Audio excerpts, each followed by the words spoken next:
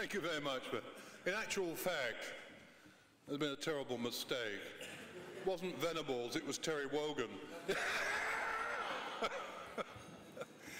it's nice to be here and nice to be back in uh, this hall. I forget how long ago it was that I was here, but it was for the festival, the book uh, festival that I came to speak here last time. And um, it's good to be back again. Thank you for inviting me. What I would like to do tonight is divide what I have to say into two parts. First, speak personally about the experience of living for about four and a half years in solitary confinement and describe something of that experience and how one survives mentally and physically and spiritually in a situation of that kind. And then I'd like to move and discuss one way in which that particular experience enabled me to concentrate more fully in an aspect of social involvement regarding the homeless. And those are the two things that I'll concentrate on this evening. Um, let me tell you a story to begin with. Uh, recently I met uh, John McCarthy and Brian Keenan and Jill Morrell. We've met many times, but we've never met together to discuss our experiences in uh, captivity. And we met with Sue MacGregor to do the program The Reunion. Some of you may have heard it. Um, we had a chance to talk together, and John reminded me of a story. He and Brian were kept together for many years. Uh, they were chained together in the same cell, quite different than myself. I was kept in solitary. And over a period of time, the food deteriorated. It was never good, but it became very, very poor indeed. And they complained. And they complained, and they complained, and nothing happened. And then, after about six months, the leader of the kidnapping group came to see them and he asked them what they were getting. And they told him. And the group were not entirely without honor. And he said, Well, that's something wrong there. So he said, I'll look into this. So he examined the situation and discovered it was the same old trick that's been practiced across the generations. Money had been given to the guard, the guard had pocketed half the money and used the other half uh, to buy food. Consequently, the food was appalling. And so, they took the guard out and shot him. That was there. Are the uh, caterers listening this evening?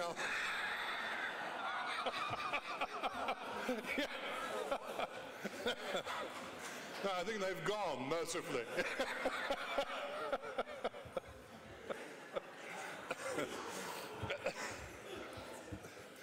the simple point, of course, being that if a man, a young guard, would uh, deceive on that simple matter of food, then someone would come along perhaps and offer him a bribe of a more substantial sum and he might well give away the whole organization. But there's another point to that too, and that is that it's very easy, very easy to get into a terrorist organization. It's very difficult to leave. Impressionable young men, age of 17, 18, 19, who are highly idealistic, who have uh, visions of what perhaps an Islamic society ought to be, are persuaded that the only way in which they can bring about change is to join such a group are easily persuaded to enter. But as we see in group after group after group, we've seen it in the Middle East, we've seen it in Northern Ireland, it's exceptionally difficult for them to leave. And I'm afraid that, uh, and I'm straying slightly from my subject now, but working as I do constantly in the area today of, of terrorism and hostage taking, I'm afraid that some of the policies that our government have followed in recent years have not helped the situation at all. Guantanamo Bay, extraordinary rendition, the taking of people and the bypassing of due process have actually been fatal policies. We perhaps have not gone at those policies with full force, but we've known about them and we've acquiesced. And that is no way to deal with the problem of terrorism. Once you start to take shortcuts with the law, once you start to put the law to one side, you open the floodgates and you give an excuse uh, to terrorist leaders to say, well, look how the West behaves. Why shouldn't we? But I say, I digress. I was taken captive uh, as a result of uh, political duplicity. And I found myself in an underground cell in Beirut. It was a very unusual sort of place. The walls were completely tiled, and when I first entered that cell, my blood ran cold because I knew that such places were tiled as in such places people are tortured and it's easy to clean up such places after such events. I wondered what I was going to face there. There were three or four cells deep underground beneath a car park, which was beneath an apartment block. And it was quite eerily silent.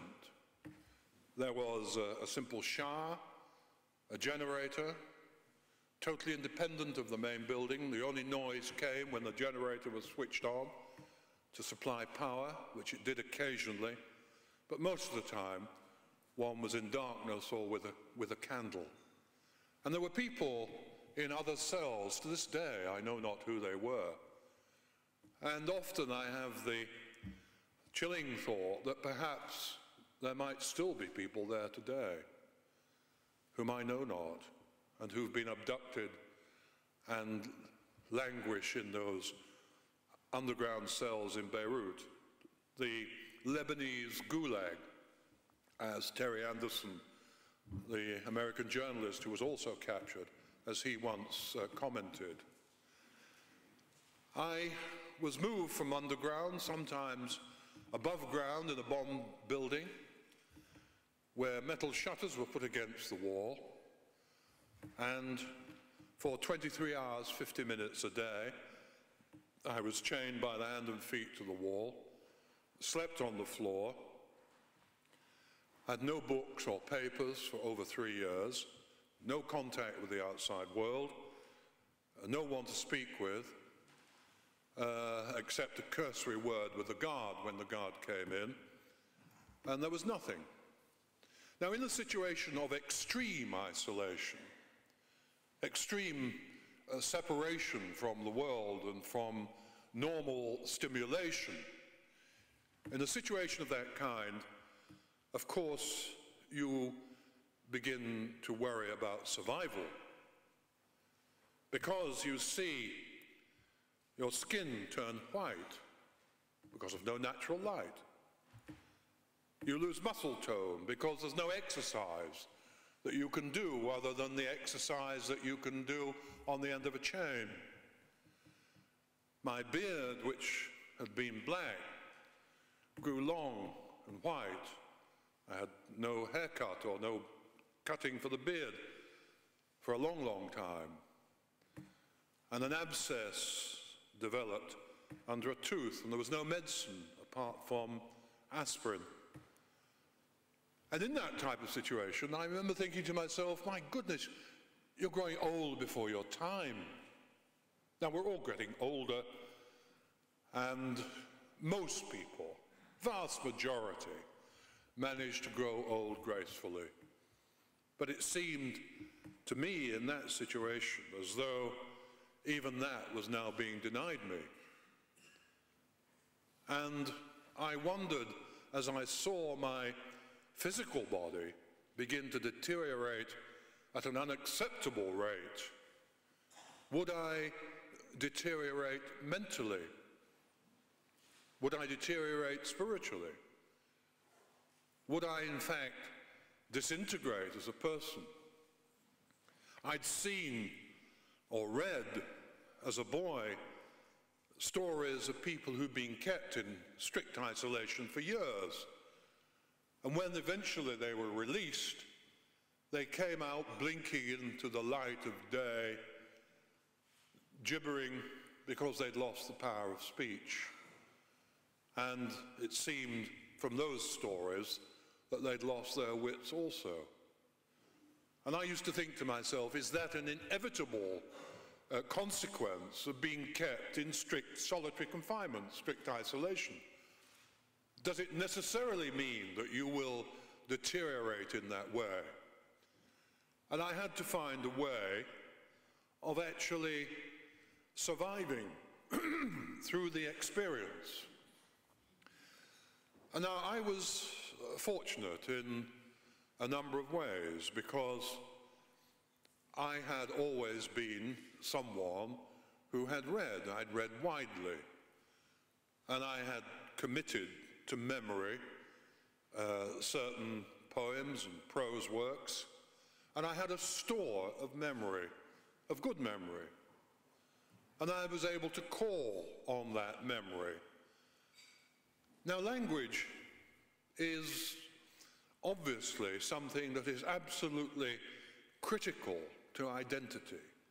One of the reasons why I am myself so keen on preserving good language, uh, on teaching language properly, on not letting language deteriorate uh, and uh, become scrappy.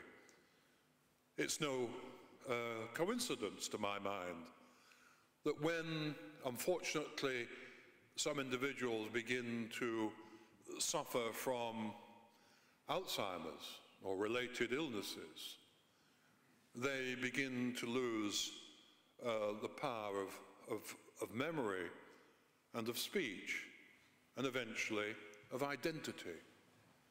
They are related intimately. And language, like good music, has a capacity to breathe a certain harmony into the soul. And one of the things that one is afraid of in a situation of extremity, as I've already said, is that you will disintegrate within. And all the time, you strive to find some degree of inner harmony. I began to write in my head. The book uh, which I wrote in my head, taken on trust, which was eventually put on paper when I was elected to a fellowship in Cambridge. But I wrote that in my head without pencil and paper because I had no pencil and paper. And I utilized my mind to begin to write. So, and begin to utilize memory and call on memory. Someone once said to me, when you're in a situation of extremity, allow your body to come to your aid, and it will. It was um, the late Carl Jung, the Swiss psychotherapist, who wrote words to that effect many, many years ago, and I had read them as a young man. I thought I knew what he meant, but in that experience I discovered what he meant. People say to me, Did you have dreams? Did you have nightmares? The answer is no, I didn't have nightmares. I had dreams. But the dreams were actually amusing. It was as though the bleakness of the surroundings were compensated for by the dreams which took me out of myself and took me into areas of humor. It was an example of my body coming to my aid. But then I also discovered what was very necessary. In that situation, situation of extremity, you are kicked around. You are pushed around from pillar to post. Someone will come in in the middle of the night, undo the shackles, and take you and beat you on the soles of the feet with cables so that you can't walk for a week in order to try and extract information from you that certainly you don't have. One of the reasons why I am absolutely appalled at the fact that any nation that calls itself a civilized nation can actually engage in torture. It is appalling. Torture is not in any way a, uh, an effective means of getting information. And even if it were, it ought to be outlawed. There is no way for any civilized nation to behave. And I say that as someone who's experienced both physical and mental torture and has been subject also to a mock execution. It is no way for any civilized nation to behave. But in that uh, situation of extremity, I discovered that what one has to do is to somehow begin to find your own center, your own identity.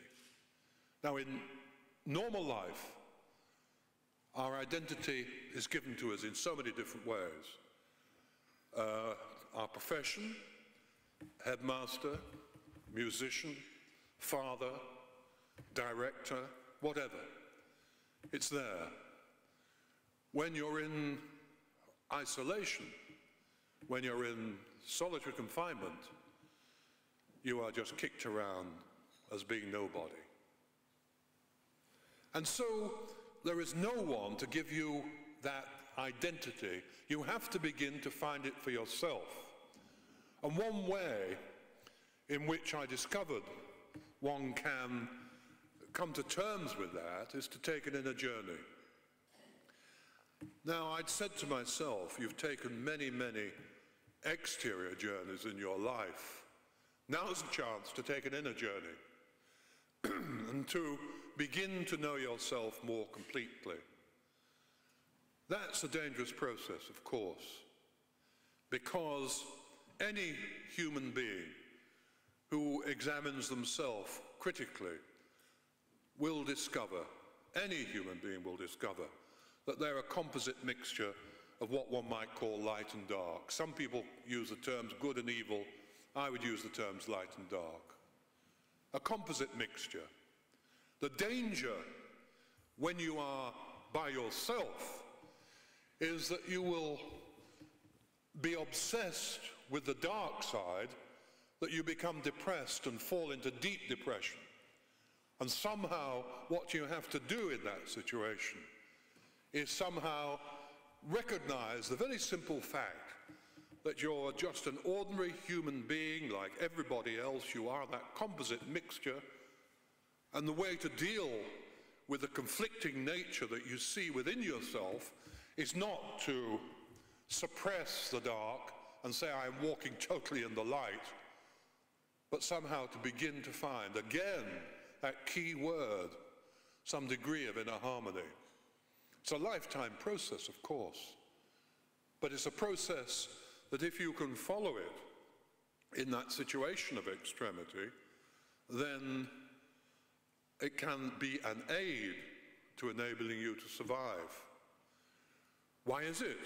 You know, we might ask that when some people who have so given themselves commendably uh, to their occupation during life and then come to the point of retirement and suddenly find that life is empty. And how, why is it that some people come to retirement and well, only manage to survive for a few years. It's as well, in my view, to give attention to that inner life from which uh, and within which there are untold uh, depths and as many interesting depths as there are in the external world. Now you can cloak all what I've said, and some people do, in religious language. I don't myself. But I do regard it as being one way in which I was able to survive. But, as I said a moment or two ago, I was fortunate. I had a background of reading, I had a background of some understanding, and I certainly had plenty of time uh, to follow the pathway that I'm now just expressing. Many people are not in that fortunate position. I was eventually uh, moved away from the particular cell I was in and put in a cell next to other hostages. And it was at that point, this was after about four and a half, four and three quarter years. And for the first time then, I got uh, a small radio. I can't tell you what that meant. To suddenly find that I was now in contact with a world that I'd left almost five years ago. And I couldn't, uh, it took me a while to begin to catch up.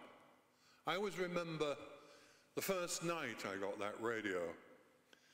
I balanced it on the metal bar to which my chain was attached, or one of my chains was attached. And it was the first night of the proms. And they were playing The Dream of Gerontius. And I sat there and listened to this wonderful music of Elgar. Here, somewhere, I didn't know where I was, somewhere in Beirut, and the music was coming across from the Royal Albert Hall in London.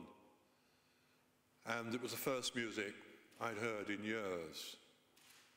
When I came out eventually, my doctor at the time took me to lunch, and I told him that story.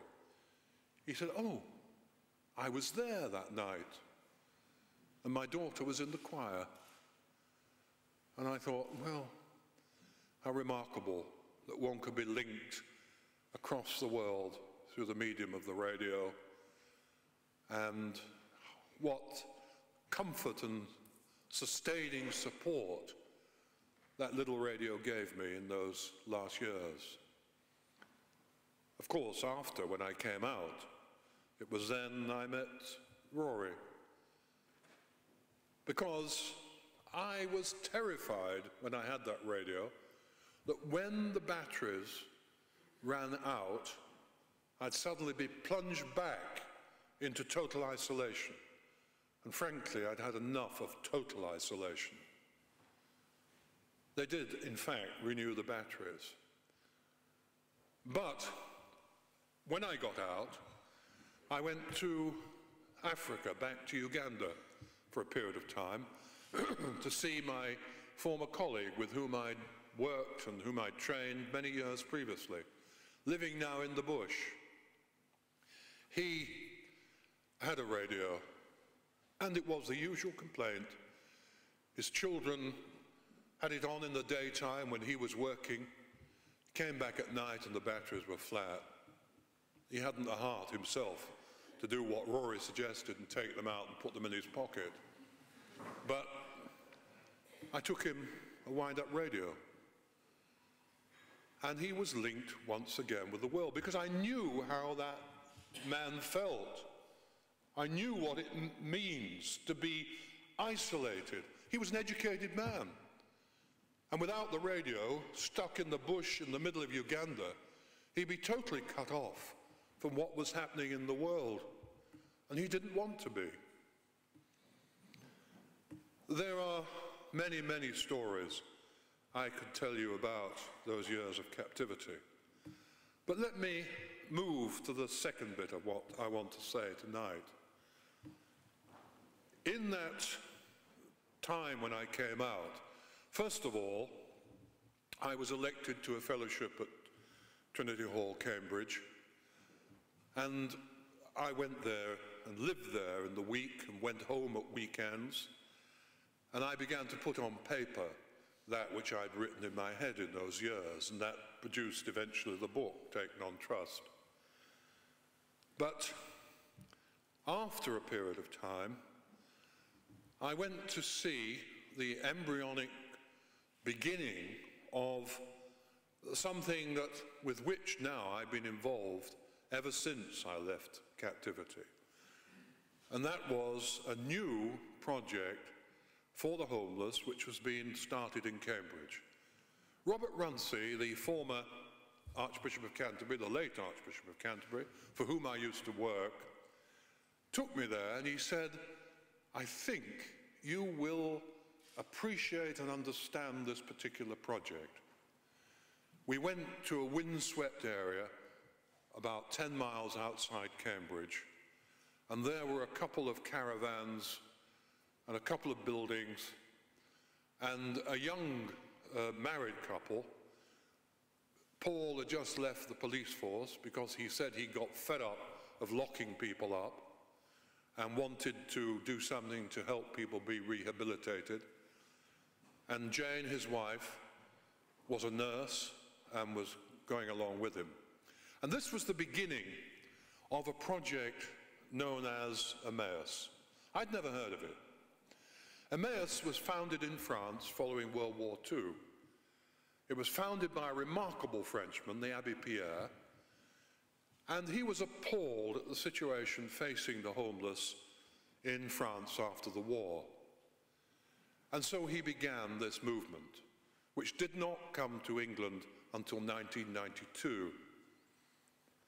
This concept is this that someone who's been homeless will come into a community, and community is essential.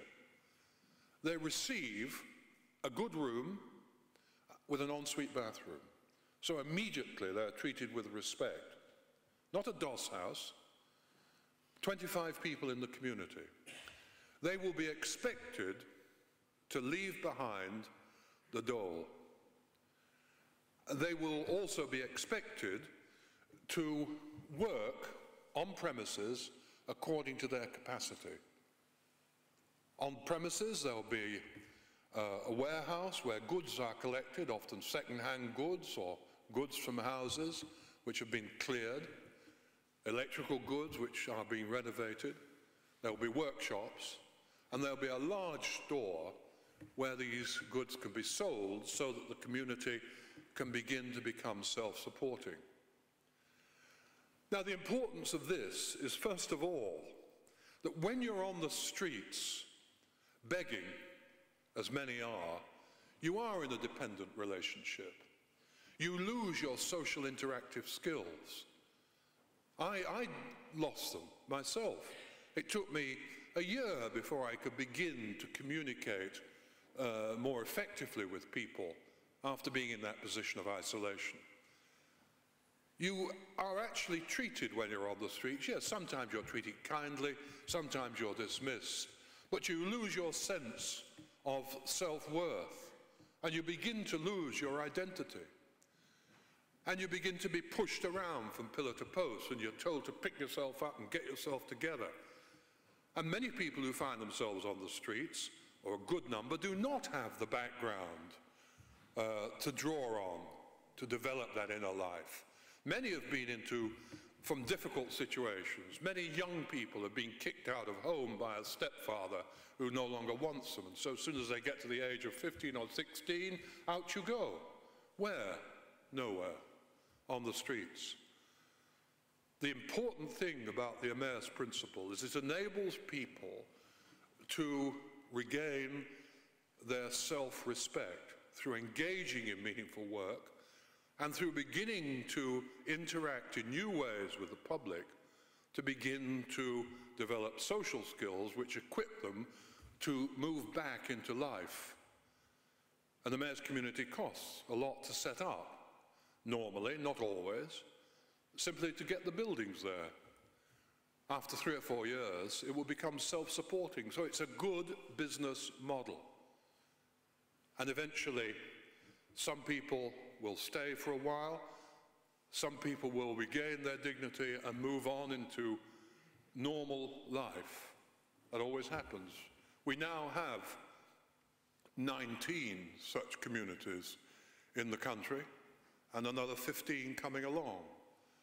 And the nearest one here in the west is what is hardly considered to be the west of England, but is in, um, in Bristol. That's the nearest one, I think, to yourselves here. But it's important, the basic point of what I'm trying to get across is this. We cannot and should not expect some of the social problems that face us today to be resolved simply by handouts or simply by the government. If we're going to do something in our communities, we have to take the initiative ourselves.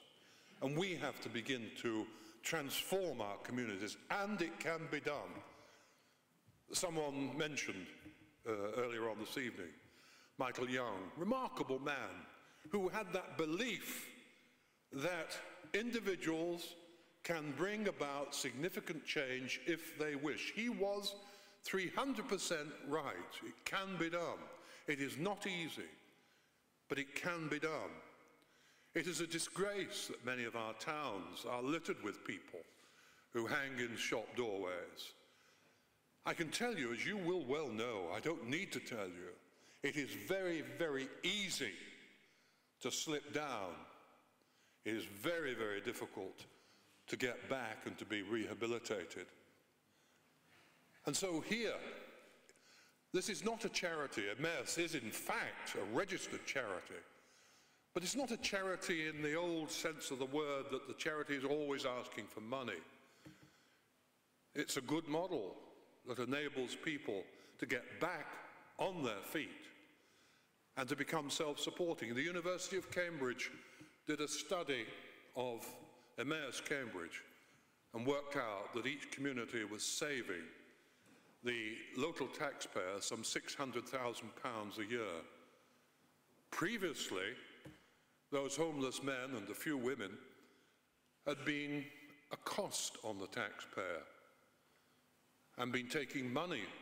Now they were generating income and also fulfilling a useful social role because the whole community was actually serving the wider community. It is a model that works. To go back for a moment before concluding to my own experience of those years, there were not, uh, as I've been talking in rather a serious and somber way, there were not many funny things that happened, but let me tell you one of the funny things. People have said, what did you miss most in those years? Was it food? Well, it wasn't. Was it, uh, well, family, yes, I miss family, I miss friendship, I miss freedom. But apart from the obvious, I miss books. I've been a reader all my life, and to be deprived of books for years, you know, to sit on the floor and to have nothing was a particular hardship. And I used to plead with the guards to bring me books, and they wouldn't.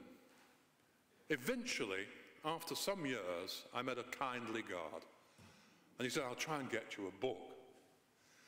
But he had two problems.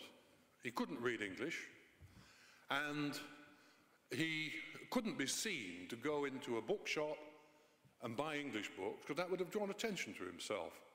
So he worked through a series of cutouts. Someone went into a shop, got a book, passed it down the line, and eventually it came to him and it came to me. One day he came into the cell, and when anyone came in, I had to pull a blindfold over my eyes. And he dropped a book by my side. He said, There you are, there's a book for you. And I said, Oh, thank goodness, after all these years. And when he went out of the cell, I took the blindfold off, picked up the book, and laughed out loud. Unknown to himself, he brought me a book entitled Great Escapes. Escapes from prison camp in World War II. Things went from bad to worse. About a few weeks later, he told me, read slow, read slow, read slow.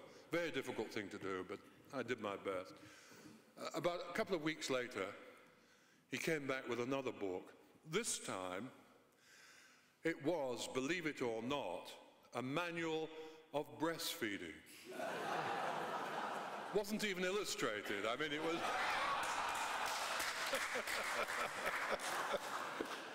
well, as the father of three daughters and one son, twin daughters, you know, my wife had breastfed one, I bottle fed the other night after night. I, the last thing I wanted was a manual of breastfeeding.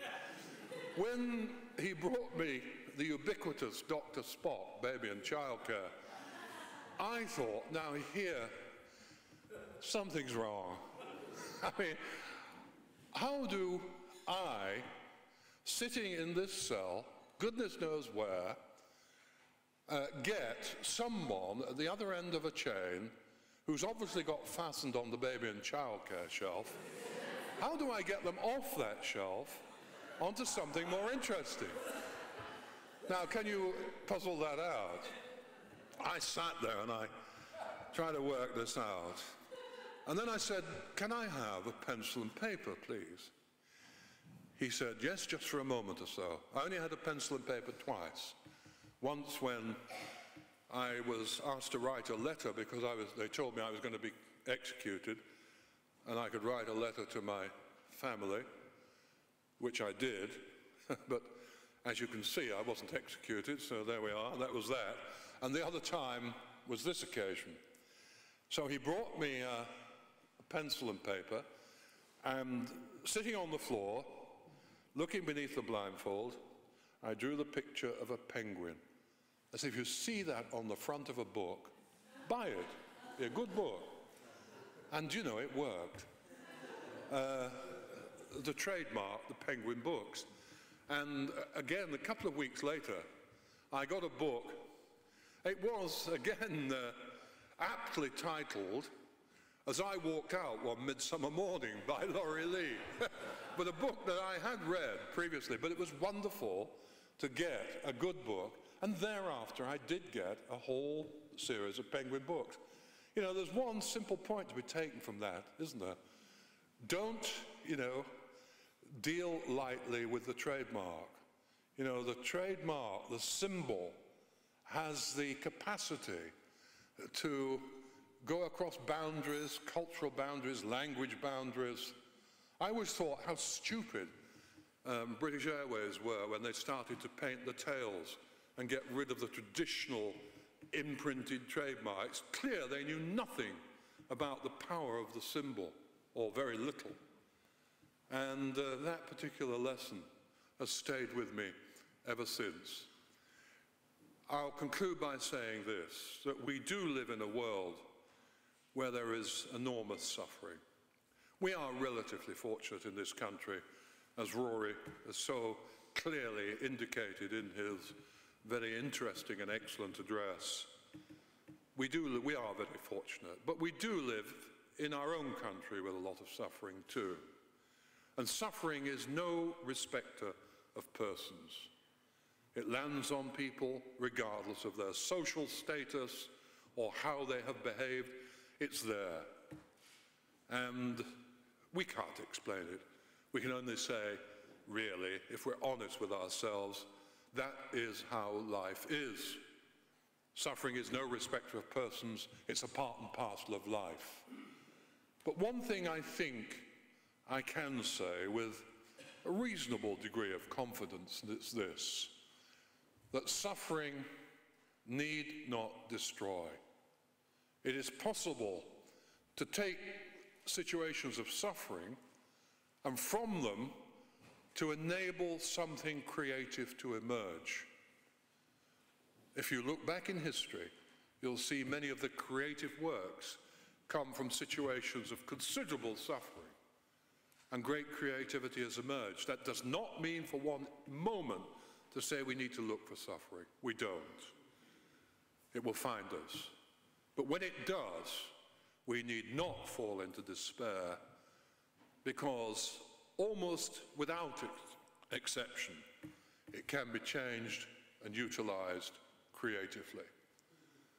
And perhaps one of the greatest things we can do in our lives and in our occupation is not only learn how to deal with that in our own lives, but how to make this world and our place and part in it, in this part and this corner of England, a place where at least we are building a community, a society that has a degree of wholeness about it, that is wholesome, and a place that we can truly call home.